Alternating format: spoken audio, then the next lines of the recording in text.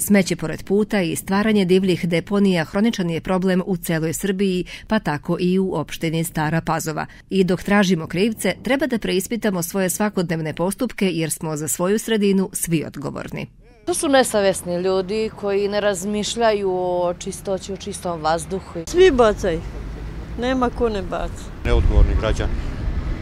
Ko bi radio? Iako javno komunalno preduzeće čistoća odnosi smeće iz svih mesnih zajednica, također organizuje odvoženje kabastog otpada po pozivu i uginulih životinja i vrlo često čisti mesta koja nisu predviđena za odlaganje smeća, divlje deponije se ipak stvaraju po obodima naselja. Jedno od kritičnih mesta u Staropazovačkoj opštini jeste kod pružnog prelaza u Novoj Pazovi na putu ka Busijama, gde se ne zatiče samo komunalni otpad, tako da se ne može govoriti samo o nesavesnim pojedincima očigledno da imamo značajan broj privrednih subjekata koji smatraju da će uštedeti neka značajna sredstva ako svoj otpad bace na ovakva mesta umjesto da ga predaju javno preuzeće čistoće i ovlašćenim operaterima.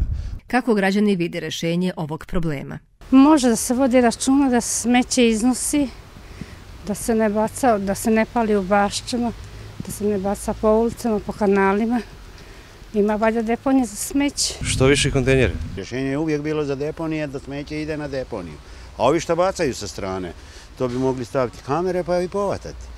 Uklanjanje divljih deponija predstavlja veliki trošak jer se za ove namene iz opštinskog budžeta izdvaja od 2,5 do 3,5 miliona dinara, a Staropazovačka čistoća planira da ovoj pojavi stane na put pored ostalog i postavljanjem video nadzora na kritična mesta. Mi ćemo gledati u narednom periodu da čak postavljamo ne na neke divlje deponije e, video nadzor da bi mogli da pokažnjamo jedan deo Eh, preduzetnika ili fizičkih lica, pošto se ovdje radi i o preduzetnicima i o fizičkim licima koje prave te divlje deponije i onda možda bi mogli reći da bi mogli da krenemo u to suzbijanje. Kako bi se uredno postupalo sa otpadom, u najavi je kontinuirano iznošenje kabastog otpada, veći broj inspektora, međusobna saradnja svih nadležnih institucija i preduzeća, ali i edukacija građana.